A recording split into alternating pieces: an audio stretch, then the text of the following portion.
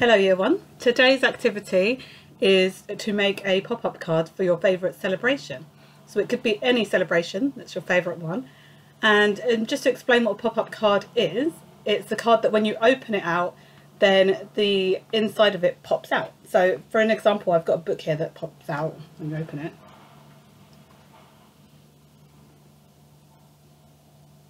So that's what we're going to be doing with a card. It doesn't have to be as big, the pop-up part of your card, but that's just an example of how when you open it up, it pops up. I'm going to be making an Easter card because Easter is one of my favourite celebrations. The first thing that you're going to need to make up, make your pop-up card is two pieces of card. So you need one for your the outside of your card and one for the inside that is going to be the bit that pops up. So you'll be um, using that as your outside and then this is your inside. So first you'll just need to fold your piece of card in half as you would usually do when making a card and then you can just decorate the outside as usual. So here is the outside of my Easter card. So I've written Happy Easter on the top and then I've um, stuck on some Easter eggs and then I've also drawn a chocolate egg and written yum yum because I love chocolate so much I've stuck on a, a bunny for the Easter bunny and I've drawn some grass and I've decided to use two different um, shades of green just to make it look a bit more real. So now for the inside of the card. So for the inside of my card I've decided that I'm going to make a pop-up chick. So its beak is going to be the bit that pops up.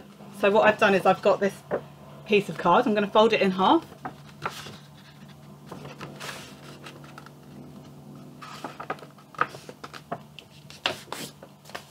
and then I'm going to cut a semicircle out of it which will make it into a circle. Okay, so I've cut a semicircle out, leaving the folded part at the bottom. So then when I unfold it, it's now a circle and that will be my chick's head.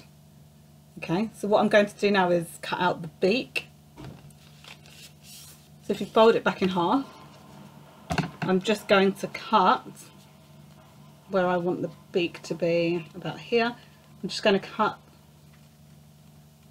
up to about there. Okay, so that's now been cut. And then I'm going to fold these bits over. So I've folded here and then I'm going to fold here as well. So you can just fold it the other way as well, just make sure it's folded properly okay. And then when you open it back out it's like this. Okay. And then you want to fold these bits that were folded this way can now be folded the other way.